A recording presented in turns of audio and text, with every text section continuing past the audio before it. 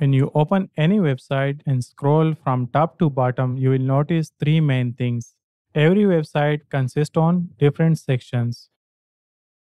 This page has header section, hero section, speed and performance section, context section, pricing section, FAQ, footer section. And the second thing you will notice all the content are bound to the center. You will see gap between the content and left right edges of the website.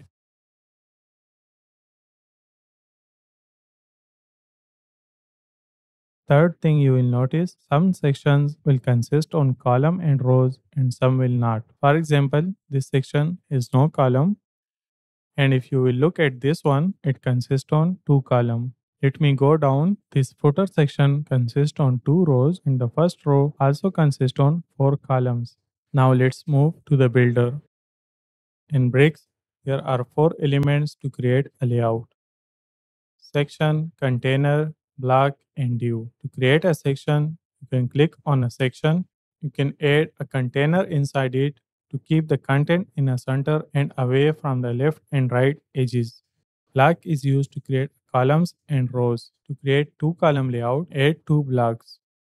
If you want more columns, you can add third block. If you need a row instead of column, click on container and change the direction from column to row. Now you can see a column is converted to row. Now let's talk about div element. You can use it for a lot of things. You can create a divider from it. We drag it here. Now select it and change its background color. Also change its width and height. Also add some margin.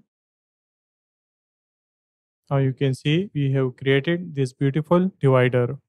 You can use it to organize thing. For example, I want to create side by side two buttons. Drag the div element here. Then put the button inside it. Just right click and duplicate it. You can add some margin here. Now you can see we have created side by side two button.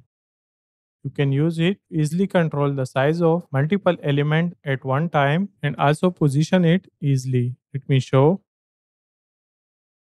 Let's add div element here. Now add all these four element inside it.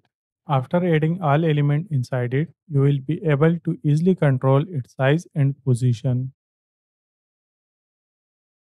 If I will change the width, the size of the text will also decrease with the div size. Let me type here 50%. You can see we can easily control the size of text with div element. Now let me show how easily we can change its position also can change it to center, left and right easily from here.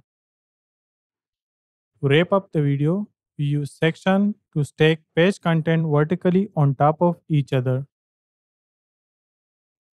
We use container for two things, to set a maximum boundary for our content and to keep our content organized in the center. Use block element to create columns and rows.